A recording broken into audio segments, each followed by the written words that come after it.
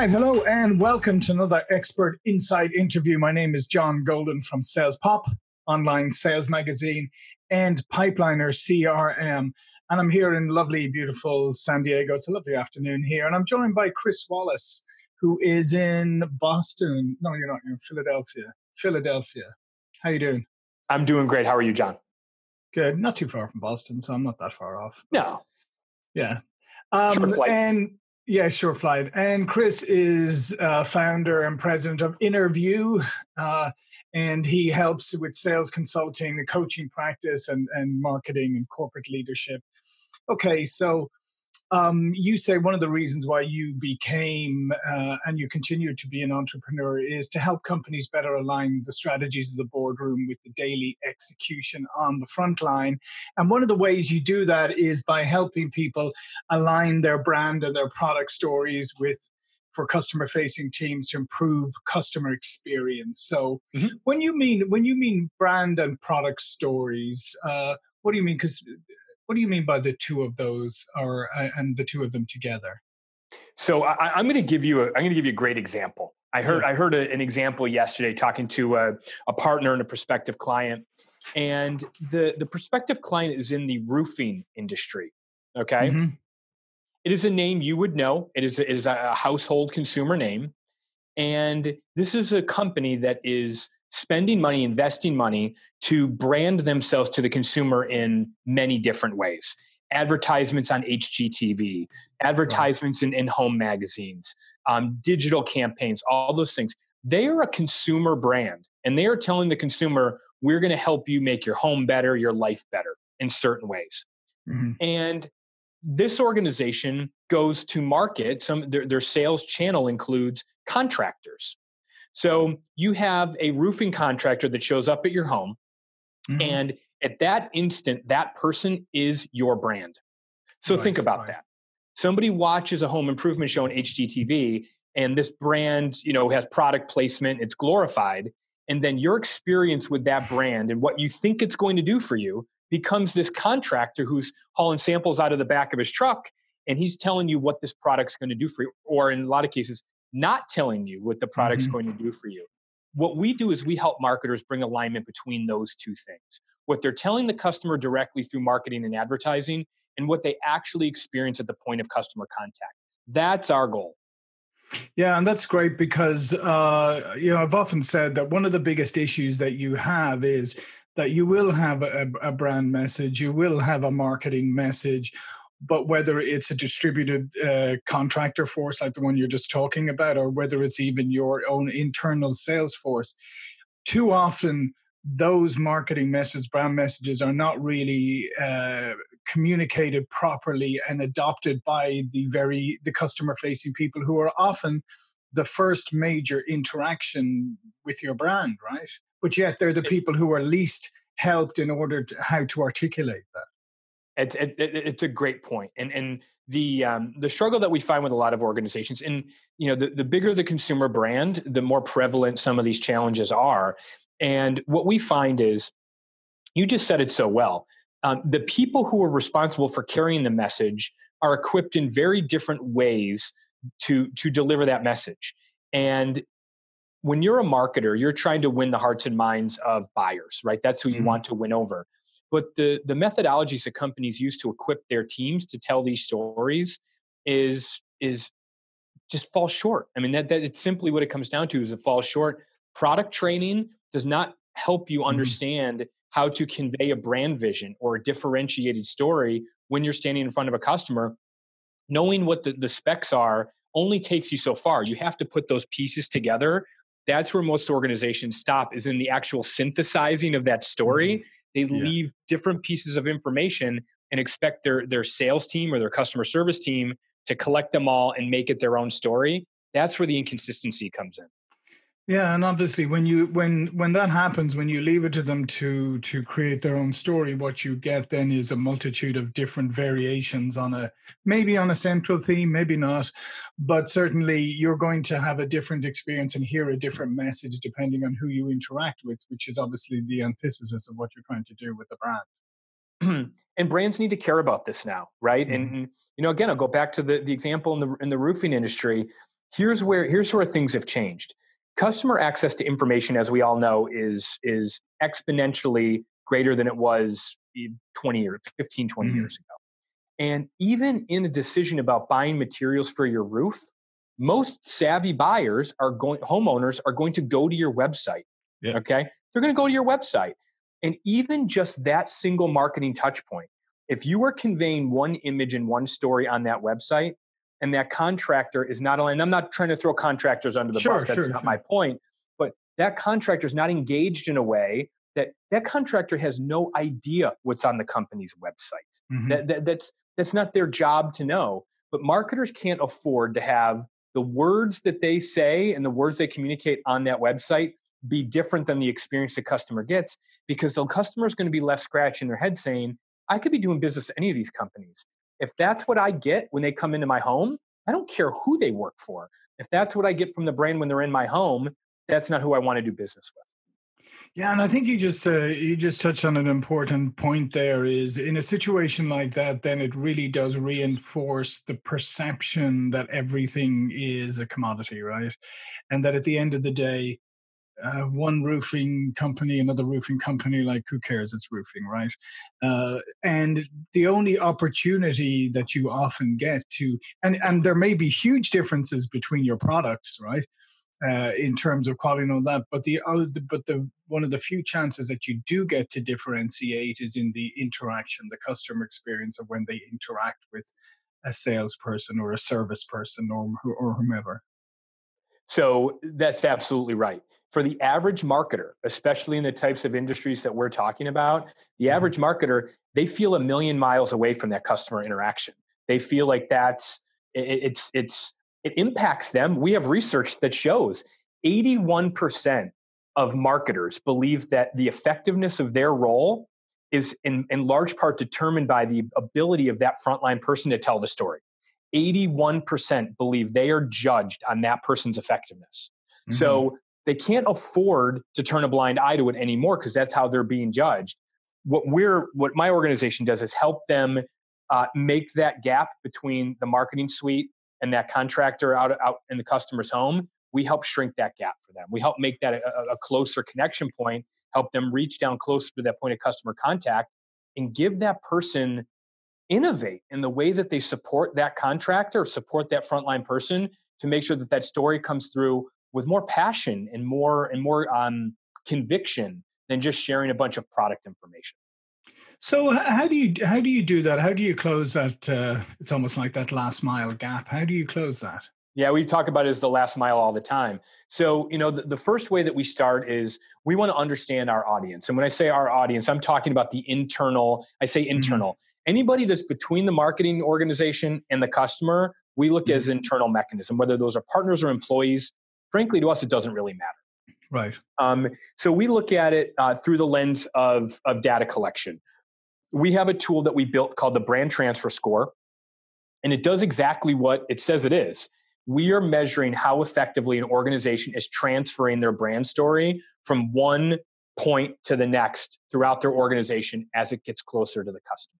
So um, the analogy that people use, it's almost like the game of telephone or the bucket brigade where one person's handing somebody a bucket of water and a little bit spills out. Mm-hmm. By the time it gets to the end, there's no water in the bucket.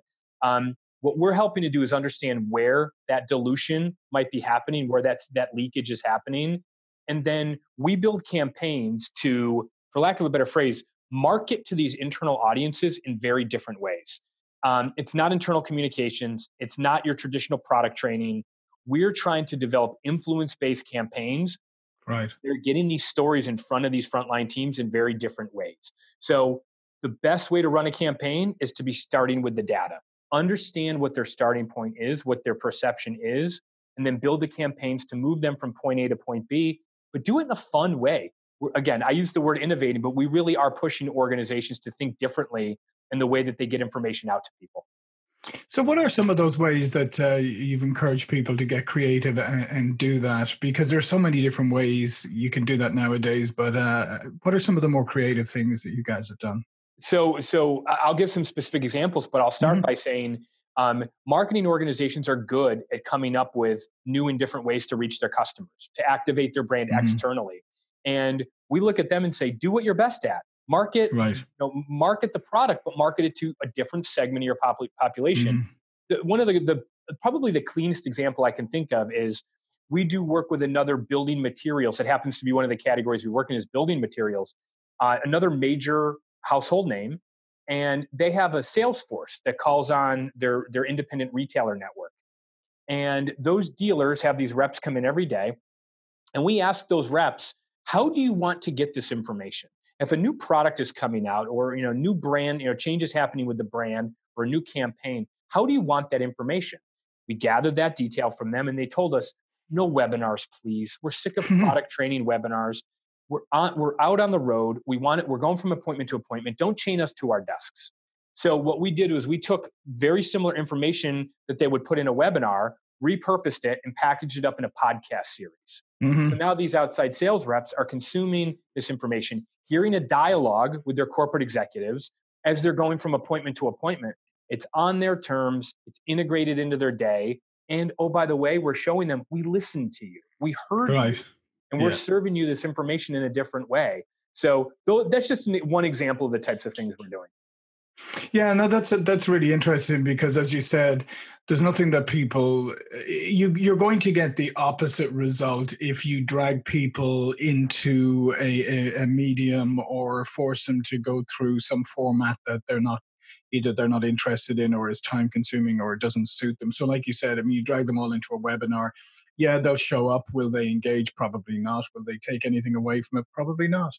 Um, but if you go and really understand your audience and understand the world that they live in and deliver your messages in ways that works for them, then you'll get the opposite impact, right? You'll get more engagement than you would normally we we live in a, in a net promoter score world for for those right. you know for you and your listeners yeah. you know if, if, you're not familiar you've probably been asked this question a million times how likely are you to recommend this product or service to a friend or family mm. member that's what yeah. nps is all built off of and what we're saying is nps has uncovered how important that word of mouth you know really the currency of that word of mouth recommendation is what we're trying to understand is before you even get to that point what is the person who actually works for you, who represents your brand? What are they likely to say? How are they right. going to get, how are you going to influence them to the point where they are passionately and, and advocating for your brand in that customer conversation as opposed to, uh, well, they give us all this stuff, but we never look at it, or you know, they just give us a bunch of product. Here's a catalog, right? That type of thing. That's not enabling people to mm-hmm. to exchange information and spread it. It's just sort of shutting it down. So we look at it as in an NPS world, well, let's focus on the people that are one step upstream and make sure that they're influenced and they're bought in.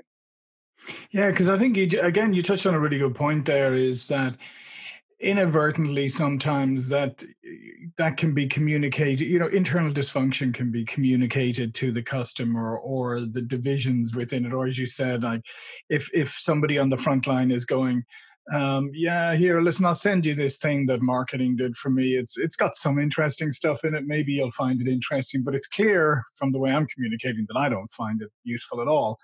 Um, and I'm communicating that out, and that's not that doesn't build confidence on the on behalf of the buyer into your organization, does it? I mean, it, it may sometimes people think that it makes them more friendly to the prospect, but in fact, all it does is make the prospect doubt the organization behind you. That's really well said. Confidence is the key word, right? Um, how can you know we we talk about as an organization, we help our clients, you know, spread belief, confidence, and pride. If we can mm-hmm. get somebody to believe in it, be confident in it, and have pride in it, that's going to influence the way that they they act and the way they represent your brand.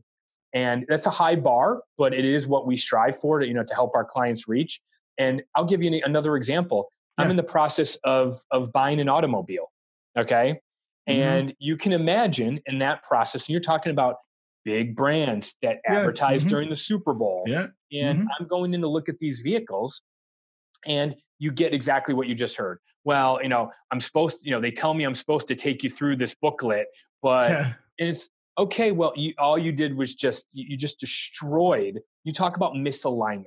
Your yeah. Super Bowl ad told me how amazing this completely redesigned 2020 model is, and yeah. I show up and you're complaining about what your sales manager tells you to do, that's not projecting confidence in the brand.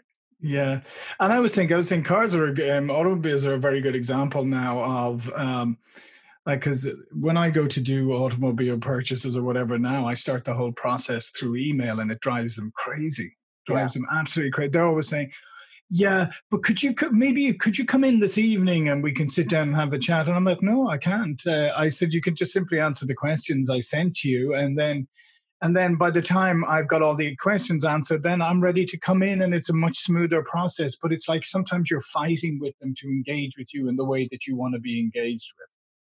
And I think that the the auto buying experience is one that most people can relate to. Mm-hmm. Yeah. But when you start to take that same mentality and you spread it across, uh, spread it out across a lot of other categories and in, in, in, different, um, yeah, uh, different verticals, um, the same concepts apply the companies that are going to find a way to impact that customer experience are the ones yeah. that are going to avoid commoditization.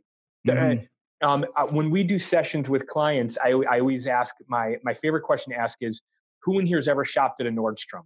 And you know, two thirds right. of the hands go up, and then they say, "Who's ever gone into a Nordstrom and left spending less money than you thought you were going to spend?"